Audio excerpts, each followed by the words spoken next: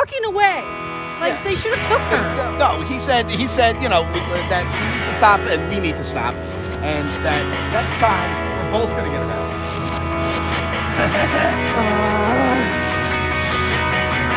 wow, fucking wow. Okay, holy shit. I did. I did. I did, and I'm shutting you down. That's it. It's over.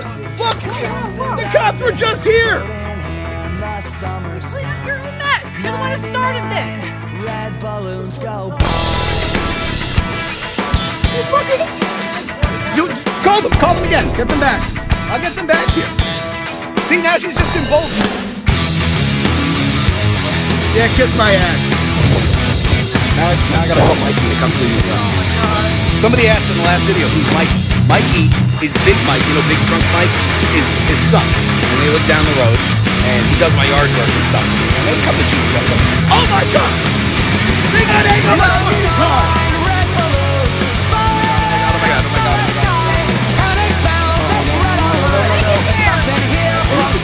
car wash like right. I think I, I, I,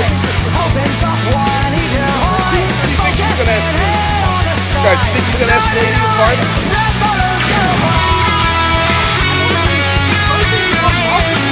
Yeah, was to the groceries away, and and this.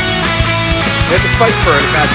99 decisions Guys, thanks for watching the video. I know. And look, oh, and I still gotta do. I don't. I gotta Mikey come over my yard, all the shit.